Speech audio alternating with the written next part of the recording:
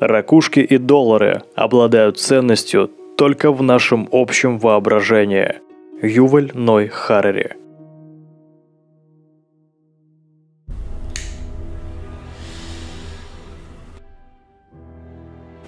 Как звучит старое клише, история создается людьми.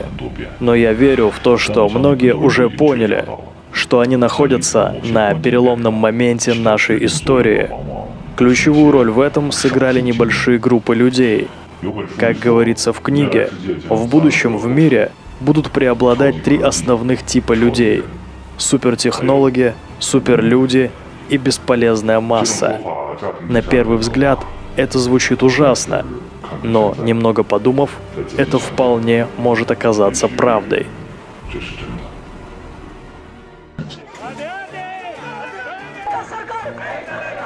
Вы террористы, но из вас делают террористов. Центральный банк Японии террорист. Биткоин обладает силой подорвать все, что они делают с людьми в мире. На данный момент стоимость биткоина превысила 960 долларов. Никто не может подвергнуть его цензуре, никто не может его захватить, никто не может остановить его. Вы настолько сильно верите в виртуальную валюту? Биткоин беспокоит меня, поскольку он показывает, насколько просто все может быть. Биткоин первый и самый старый. Это быстрее и дешевле. Еще не поздно купить биткоин. Никто не контролирует биткоин. Тут не на кого подавать в суд.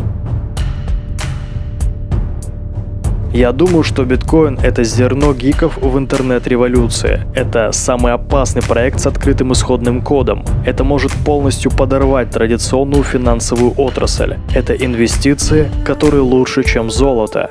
Это технология, культура, а также вера. Это действительно потрясающий технологический процесс в сравнении с любой системой, которая была у нас в прошлом. Мы используем биткоин почти каждый день.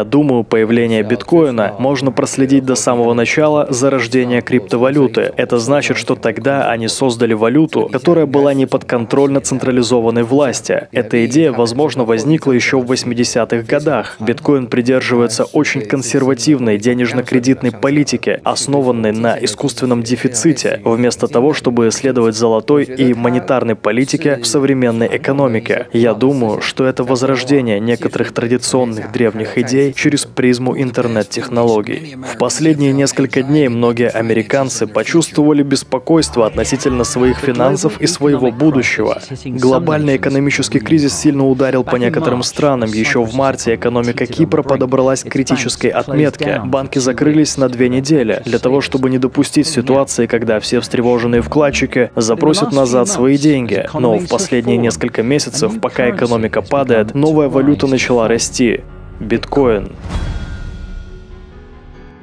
Общее количество биткоинов ограничено, и это децентрализованная цифровая валюта. В мае 2011 года это распространилось как вирус по всему миру, включая Китай. Биткоин – глобальный актив. Может быть выпущена ограниченная сумма. Он похож на золото, но он более портативный и удобный для деления.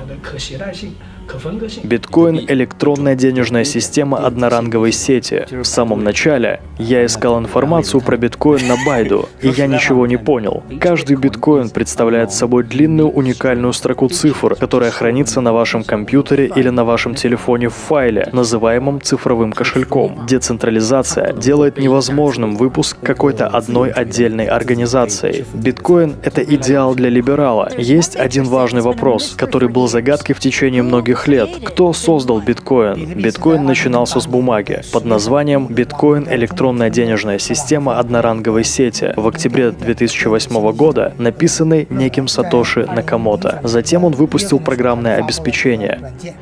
На одном малопосещаемом форуме для криптографов появился документ, в котором предлагалась совершенно новая денежная система автор-провидец, называл себя Сатоши Накамото. Newsweek утверждают, что они нашли Сатоши Накамото. Человек, которого они преследовали, позже отрицал, что он тот, кто стоит за созданием биткоина. Я не имею никакого отношения к биткоину. Я никогда не работал на эту компанию. Я не знаю никого из этих людей. У меня никогда не было контракта или чего-то в этом роде. Я даже не знал о таком продукте.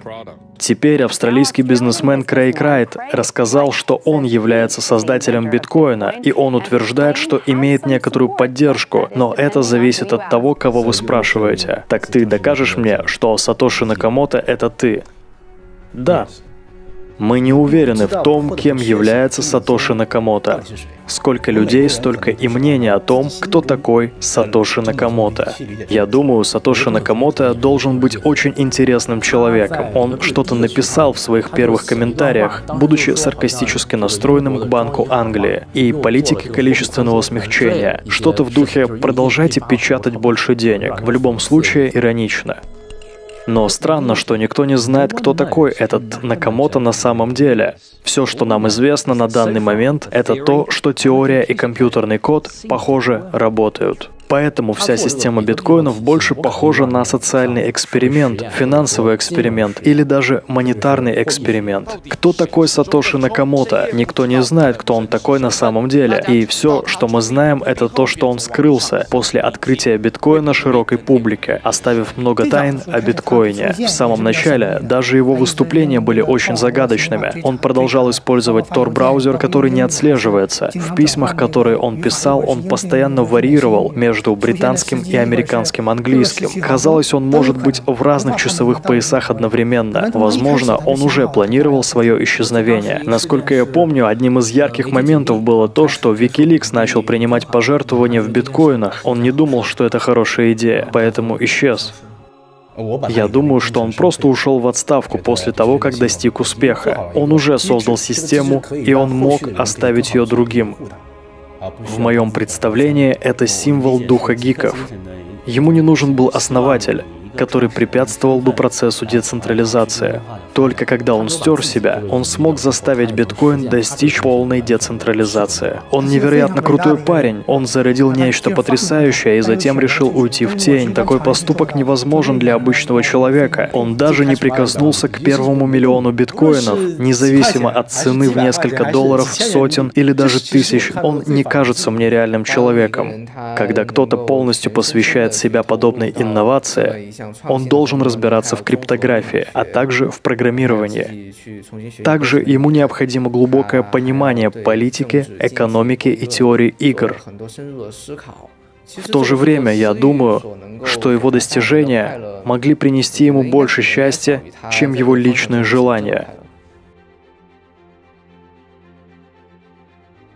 В первые один или два года никого не интересовал биткоин, однако некоторым гикам он очень понравился. В то время они просто дарили друг другу биткоины. 21 мая 2010 года один программист обменял 10 тысяч биткоинов на пиццу от своего друга. Теперь 22 мая отмечается как Bitcoin Pizza Day. На самом деле праздновать нужно 18 мая. Кто-то в тот день запостил на Bitcoin Talk предложение продать что-нибудь за 10 тысяч биткоинов. Затем он получил ваучер на пиццу за 10 тысяч биткоинов.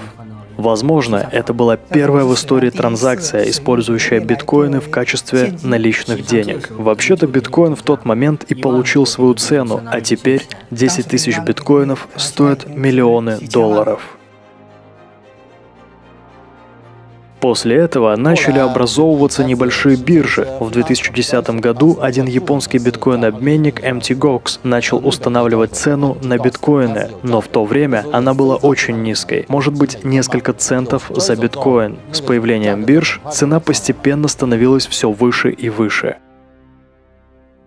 После того, как образовались биржи, цена на биткоин начала устанавливаться и уравновешиваться рынком. Кто-то хотел купить его по одной цене, а кто-то другой хотел продать его по другой цене. Затем ставка купли и продажи начала сходиться. Когда я узнал об этом в 2011 году, он стоил 5 американских долларов, а уже через несколько дней он взлетел с 5 до 30. Сначала я очень сомневался в биткоине. В то время я не понимал его. Я думал, что это похоже на то, что вы хотите купить биткоин биткоин за 10 долларов, а другой покупатель готов заплатить 100 долларов, то он будет стоить 100 долларов. Но постепенно я познакомился с механикой, кодом и остальными связанными с ним вещами. И это начало все больше и больше увлекать меня, потому что технология оказалась невероятно замечательной. Он основан на криптологии, и, конечно же, криптология основана на математике. Мы можем сомневаться в чем угодно, но математика, математика является основой тех знаний, которые мы создали. И если это не так, то рухнет не только биткоин, но и многие другие важные вещи в нашей жизни. Есть два способа получить биткоины. Первый — это купить его за другие валюты, а второй — сделать его в онлайне. Нетрудно понять первый метод, но как сделать биткоины онлайн? Кто-то сравнивает это с добычей полезных ископаемых, когда вы запускаете специальную программу на ваших компьютерах, чтобы заработать биткоины. Не выпущенные людьми, биткоины выдаются, исходя из вычислительной мощности. Таким образом, любой может присоединиться к процессу добычи. Биткоин — это общедоступная распределенная бухгалтерская книга. Она публична, и в нее нельзя внести исправления. И вам придется приложить массу усилий, если вы решите обновить информацию в ней. Майнинг — вот чем вам придется заплатить. Майнерам нужно найти некоторое число, значение хэша, и это требует много вычислительной мощности. В то же время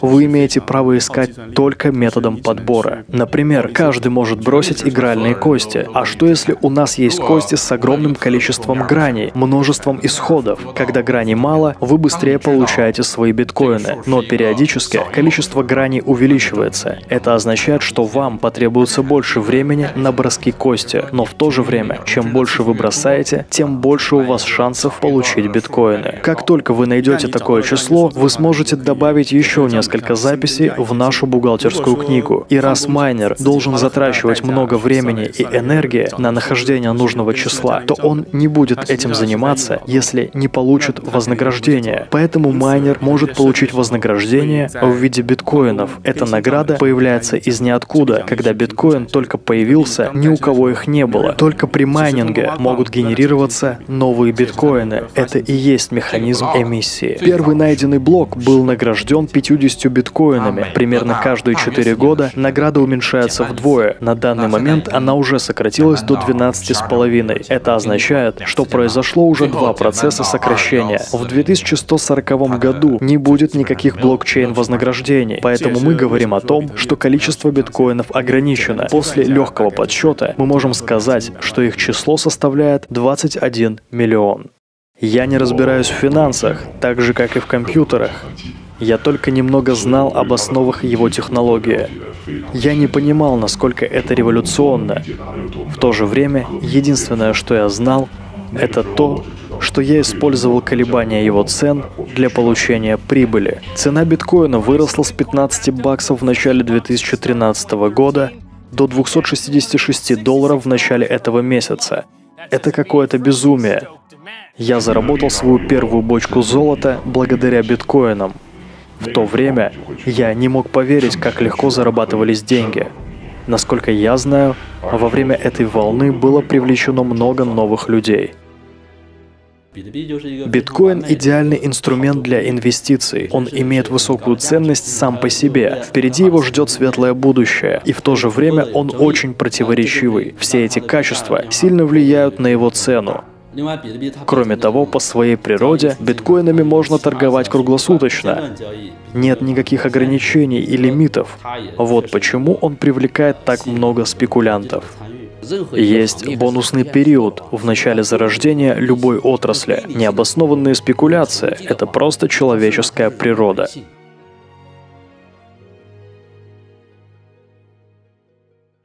Некоторые люди говорили, что вы, ребята, просто банда. Такое замечательное изобретение было смешано с грязью, благодаря вам, парня. Честно говоря, хоть меня и не особо волнуют такие выкрики, все равно мне это тоже не нравилось. Их потребности толкали всю индустрию вперед, ведь этим спекулянтам им нужны платформы для торговли. Таким образом, они помогают обмену, выживанию и росту биткоина. Это те, кто продолжает двигать всю биткоин-индустрию. В условиях глобализации на биржевом валютном рынке вы заметите, что более 99% транзакций совершаются спекулянтами с целью влияния на курсы валют. Это нормально на валютном рынке.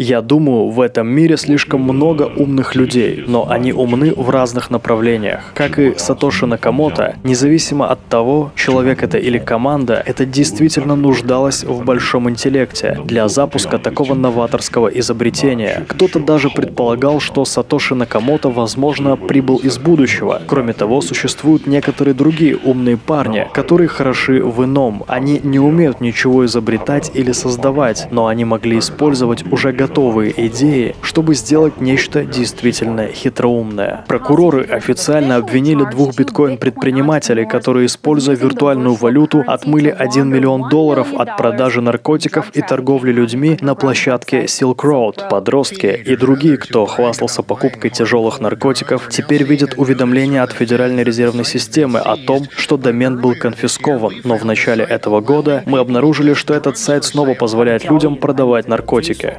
Транзакции не отслеживаются, поэтому если преступники используют его для отмывания денег, то будет очень сложно для нашего отдела мониторинга или полиции найти того, кто торгует этими биткоинами и где эти биткоины хранятся. Биткоин анонимный и децентрализованный, а это является преимуществом на черном рынке. Действующие законы к нему неприменимы, так что это несет большие проблемы. Он работает в 118 странах, и у него более 200 миллионов пользователей. Если каждый будет использовать биткоин, то это будет легко и безопасно. Это означает, что если вы предоставите один биткоин, через 30 дней вы получите 1,3 биткоина. Система свяжет вас с другим пользователем, чтобы дать вам 1,3 биткоина. Несмотря на то, что преступники используют это, чтобы присваивать деньги, не обязательно связывать это с биткоином. Биткоин нейтрален, точно так же, как нож. Вы можете использовать его для нарезки овощей, а преступники могут использовать его, чтобы убивать. Один биткоин в настоящий момент стоит 315 фунтов, оказавшись в своей нижней точке в сравнении с декабрьскими 700 фунтами. Вы покупаете биткоин через онлайн-обменник, один из крупнейших, MTGOX. Он неожиданно закрылся сегодня, уровня, удерживая у себя сотни миллионов фунтов и спровоцировав резкое падение стоимости валюты. Полиция также расследует его возможное участие в исчезновении в 2014 году около 390 миллионов долларов в биткоинах согласно текущему курсу. Что-то невнятное поясняет генеральный директор MT Gox.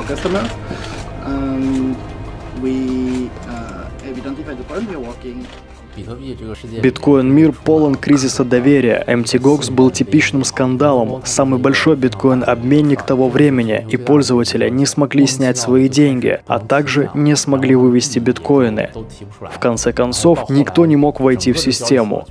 Затем всплывающее окно сообщало пользователям, сколько активов у них было в обменнике. Все это было очень забавно. Это был огромный скандал. Когда обменник начал работать, люди решили, что проблемы были связаны с конкуренцией. Плюс вмешалось правительство. Люди думали, что риск исходит и от него. После MTGOX люди поняли, что возможны также и технические риски. Что касается обменников, то очень важно то, как они подходят к рискам. Как только что-то пойдет не так, огромная сумма активов пользователей действительно может оказать на вас большое давление. 5 декабря Центральный банк и четыре других министерства выпустили уведомления о рисках, связанных с биткоинами. Пять министерств, включая Народный банк Китая и Министерство промышленности и информационных технологий, объявили о совместном заявлении, заключив, что биткоин нельзя использовать в качестве легальной валюты на рынке, но онлайн, как виртуальный товар, люди могут свободно покупать его и продавать. В это время цена биткоина была очень высокой. Инвестировать было очень рискованно. С точки зрения правительства, они опасались того, что может произойти крупный финансовый кризис. Например, цена поднялась с 8 тысяч до 80 тысяч юаней, а в Китае 10 миллионов инвесторов. Затем она падает до 800 юаней, и 10 миллионов инвесторов потеряют 10 миллиардов юаней. Таким образом, больше ограничений правительством вышло для того, чтобы немного охладить популярность биткоинов, чтобы люди понимали, что такое биткоин и осознавали масштабы его влияния. В то время биткоин был совершенно новой вещью для Народного банка Китая и его руководителей, поэтому Центральный банк не знал, как его регулировать, но в качестве регулятора его обязанностью было контролировать риски. Затем Центральный банк дал первое ответственное уведомление по информированию граждан о рисках.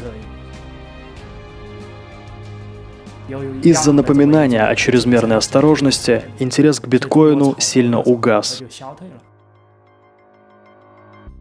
Когда Центральный банк запретил платежи от третьих лиц на биткоин-биржах, торговля биткоинами упала. Менее чем через месяц рынок перешел с позитивной на негативную тенденцию. В то время даже мы знали об этом уведомлении, но тем не менее мы считали, что его влияние будет ограничено только рынком Китая. Биткоин — это глобальная вещь, и это не сильно на него повлияет. У меня есть друг, он купил модный автомобиль на деньги, которые он заработал на биткоинах. Затем машина ему надоела, и он продал ее и снова обменял все деньги на биткоины, рассчитывая заработать еще больше, чтобы купить машину получше. Но менее чем через неделю он потерял половину своего богатства. Мы убедили его остановиться. Он не слушал. Он думал, что цена повысится.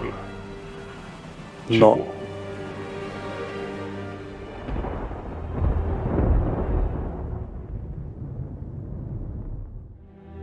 Многие спекулянты много потеряли. Те, кто следил за рынком или намеревался купить, наконец отказались от этой мысли и просто ушли. В Китае рынок биткоинов был очень мрачным на протяжении долгого времени. В то время цена за биткоин составляла около 2000 юаней. Затем она выросла до более чем 4000. Затем она резко упала. До конца 2015 года цена держалась на уровне 900 юаней за биткоин. В конце 2014 года биткоин проявлял медвежьи повадки и коснулся дна. В то время поток наличных денег стал сокращаться. Весь процесс оставил глубокое впечатление на нашей команде управленцев. Мы не имели ни психологической, ни материальной поддержки. Перспектива всей отрасли была очень неясной. В то время у меня были сомнения, но оглядываясь назад на мои инициативы, из-за которых мы отказались от наших хорошо оплачиваемых должностей, чтобы начать это, и в тот момент мы должны были отказаться от возможности изменить мир, но мы решили остаться.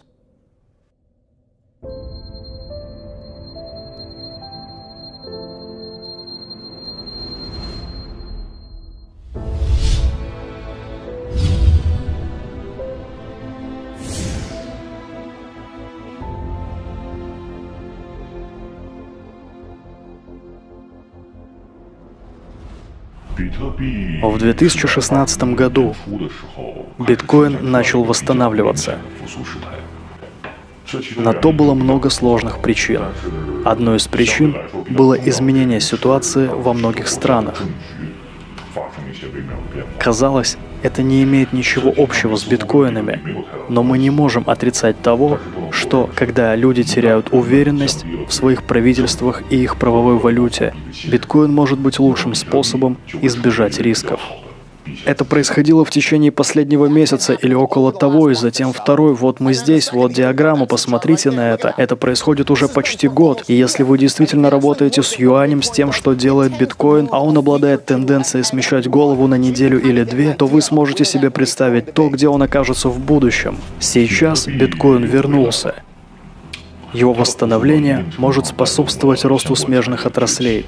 Одной из самых показательных является отрасль по майнингу биткоинов. Чтобы быть более конкретным, китайская отрасль по майнингу биткоинов. Начинающие биткоин-энтузиасты думают очень поверхностно. Биткоин — это золотой рудник. Если я хочу участвовать, то я начну майнить. Но на самом деле вам будет известно, что процесс майнинга очень непростой, поскольку это очень шумно, и он будет требовать много электроэнергии. Когда Сатоши Накамото впервые изобрел биткоины, он сказал «один процессор, один голос». Сначала люди использовали центральный процессор для майнинга. Затем к майнингу был привлечен графический процессор. Добыча биткоина биткоинов могла положить тысячи вычислительных единиц видеокарт в спонтанное использование. Он более эффективен, чем процессор. Затем графические процессоры были популяризированы, но люди обнаружили, что видеокарты требуют слишком много электроэнергии. Одно из решений этой проблемы — это обратить внимание на программируемые процессоры. ППВМ очень энергосберегающий, но стоимость его производства огромна. В конце концов, решением, балансируя между затратами на производство и электроэнергией, оказалась профессиональная Функциональная микросхема для майнинга — это четыре этапа технологии добычи. Это был некто по имени Cat. Он что-то вроде легенды. Он начал краудфаундинг и объявил о том, что он может сделать прибор. Если люди дадут ему деньги, он сможет сделать его. Затем он мог раздать бонусы донатерам в соответствии с долей их пожертвований. И, наконец, он сделал это и использовал свой прибор для добычи биткоинов. Те, кто пожертвовал, получили огромные прибыли, потому что машины для майнинга в то время обладали огромными вычислительными мощностями. После успеха Фрайдкэта он начал осознавать угрозу от новых заводов по производству оборудования для майнинга. Конкуренция в отрасли ASIC очень жесткая. Здесь не будет слишком много игроков в каждой отдельной области. Монополия будет формироваться постепенно. Эти новые фабрики росли. Если Fried Cat не справится должным образом, он быстро потеряет свое преимущество. В 2014 году Fried Cat задержал выпуск своих чипов, поэтому, когда он запустил свое оборудование для майнинга, продавать его было уже непросто. Когда я работал в его отделе продаж, ситуация была далекой от идеала. Каждая секунда считается в майнинге биткоинов. Когда он опоздал со своими майнерами, он потерял преимущество. Что он сделал потом? Он пропал без вести в начале 2015 года.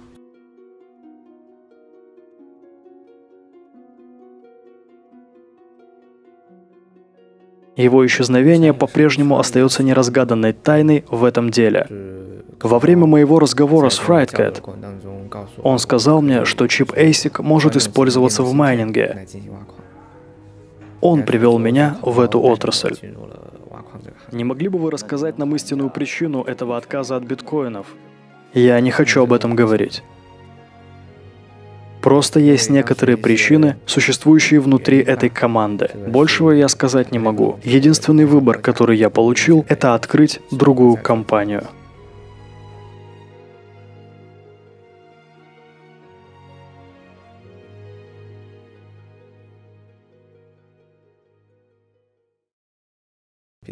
Чип легко сделать, но сложно улучшить. Функционал был очень простым. Но нам нужно было проводить больше исследований и экспериментов, чтобы улучшить его. Еще есть место для улучшения и оптимизации. Биткоин базируется на принципе «время-деньги». Мы должны выпустить наш новейший продукт на рынок. Китайцы очень трудолюбивы, и это большое преимущество.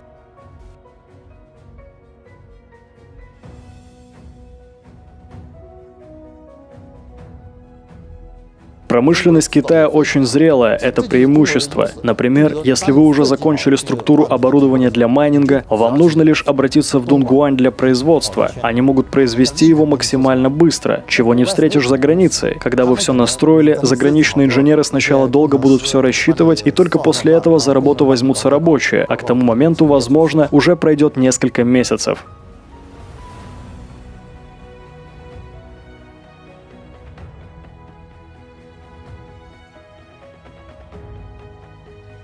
Сколько машин работает на этой майнинговой ферме? Всего около 21 тысячи машин. И потребляемая мощность более 20 тысяч киловатт-часов.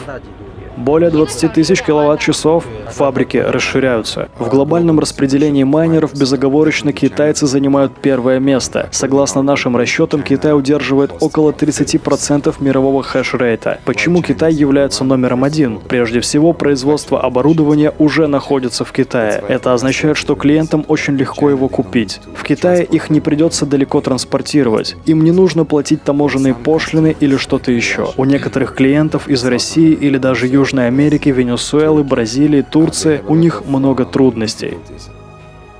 В майнинге все равноправны. Это означает, что если вы хотите добыть биткоины, то вы просто начинаете это делать. Это свободный рынок. В этом могут участвовать все. Никто не должен погибнуть, но тем не менее это дикий мир. Каждый может обладать хэшрейтом. Все зависит от инвестиций. Мое мнение состоит в том, что хэшрейт в Китае Почему он такой высокий в Китае? Потому что в Китае больше инвестиций. Это в крови китайцев. Это то, что им нравится.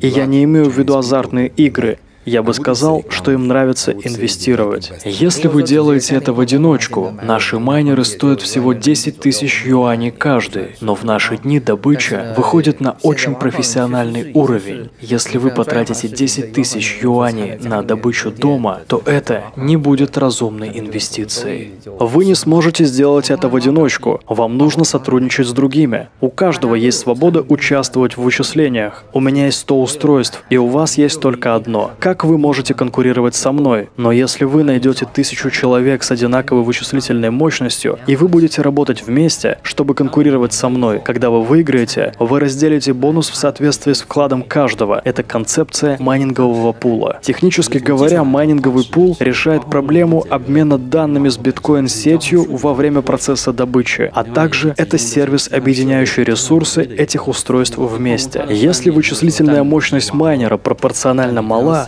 скажем, на то, чтобы сманить один блок у него уйдет месяц, то его доход будет очень нестабильным. Через майнинговые пулы каждый день будут добываться новые биткоины. Поэтому доход может быть стабильным. Это много значит для майнеров.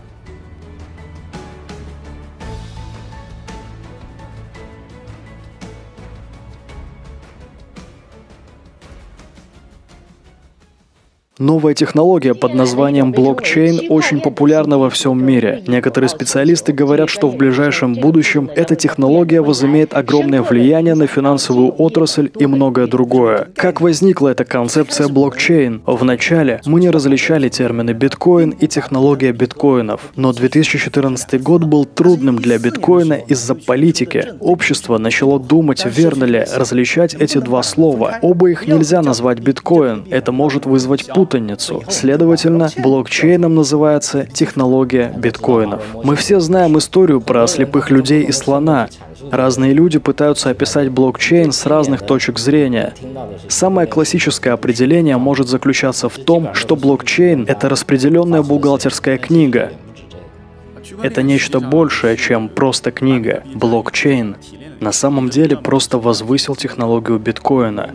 Но если вместо данных о транзакциях в этой книге мы используем другую информацию, мы сможем использовать эту технологию для многих вещей. Например, я могу записать туда медицинскую информацию или какой-нибудь корпоративный трансфер, кредиты и платежи. Он может использоваться в умном контракте, в электронном нотариате, в хранении данных, торговле акциями и даже регистрации прав собственности.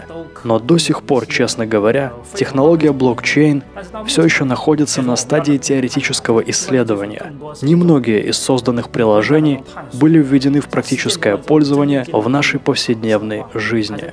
Блокчейн уже оказал свое влияние. Более 50 финансовых организаций по всему миру были вовлечены в R3 Blockchain Alliance. Эксперты говорят, что блокчейн может помочь защитить финансовую безопасность и даже может полностью изменить всю существующую банковскую банковскую систему. Когда люди удивляются тому изменению бизнеса, которое привнес интернет, новая технология, называемая блокчейн, попадает в наше поле зрения. Это приводит нас к...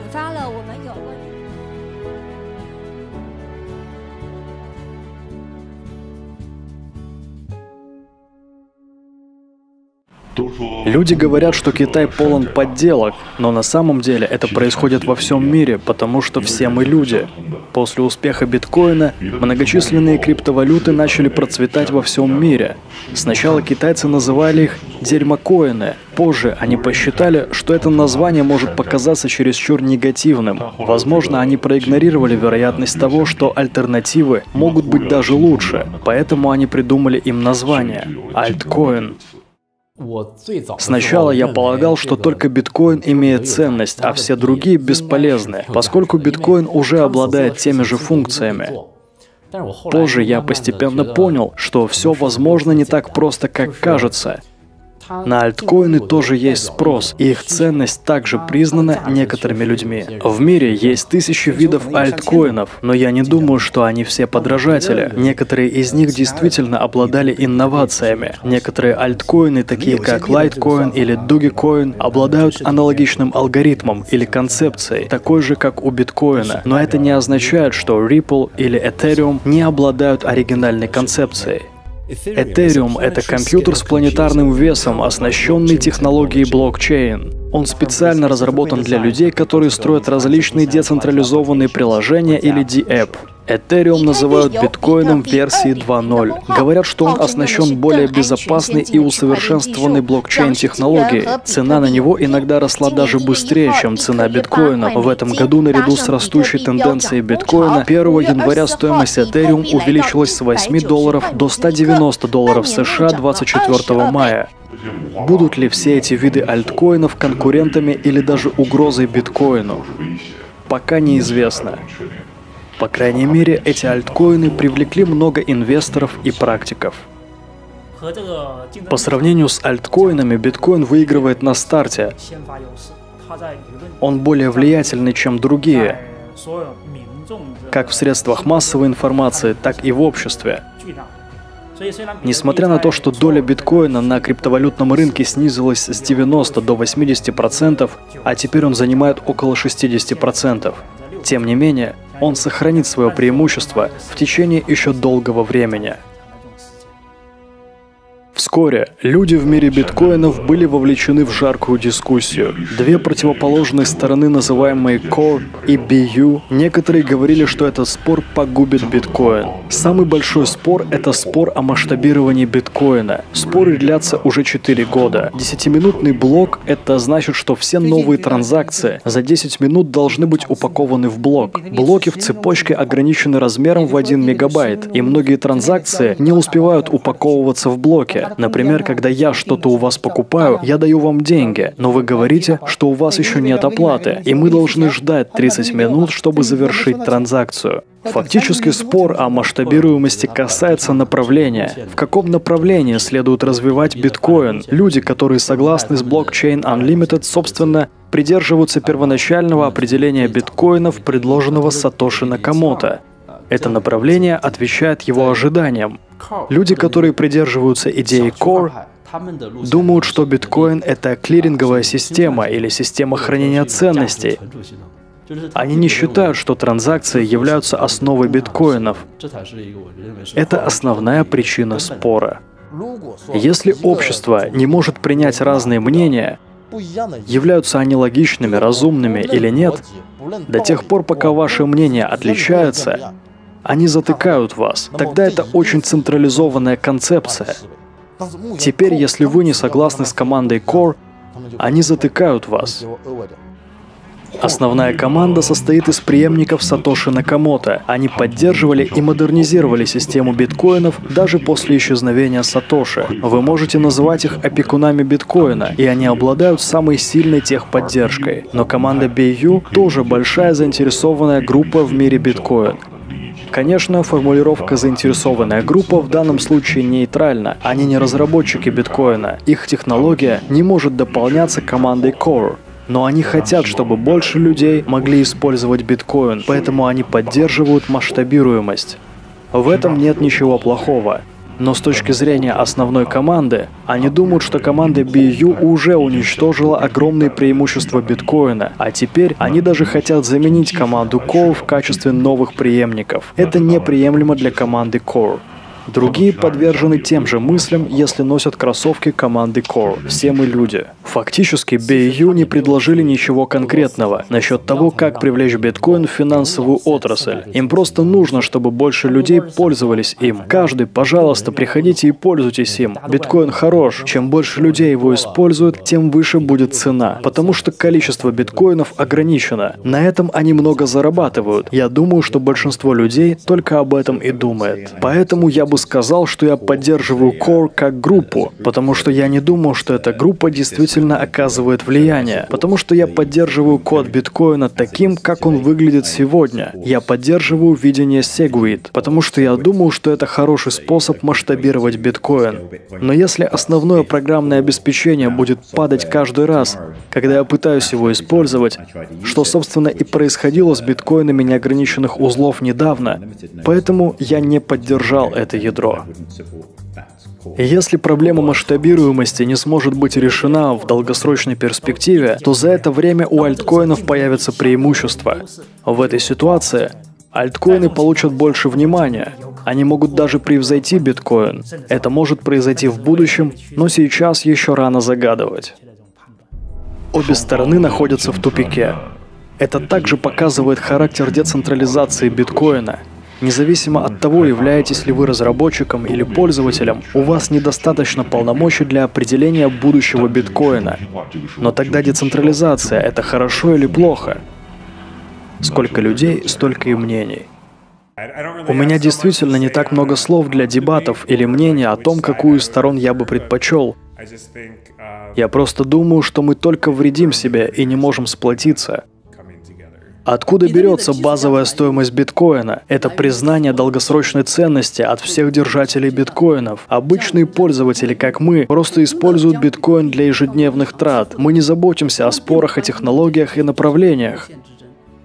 Однажды вы погубите биткоин, но мы все равно должны его использовать. Когда вы спорите друг с другом, вы считаетесь с нами, обычными пользователями. Мы рассматриваем биткоин как деньги, как валюту и в качестве способа оплаты. Эта ситуация очень разочаровывает.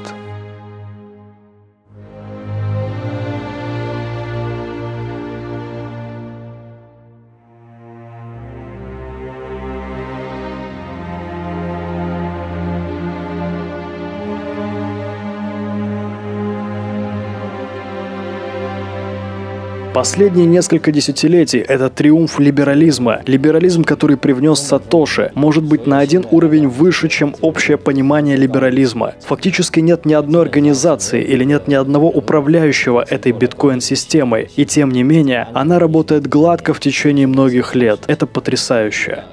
За последние 8 лет он сформировал очень большую платежную сеть. Его ценность в основном исходит от людей, которые его используют и признают.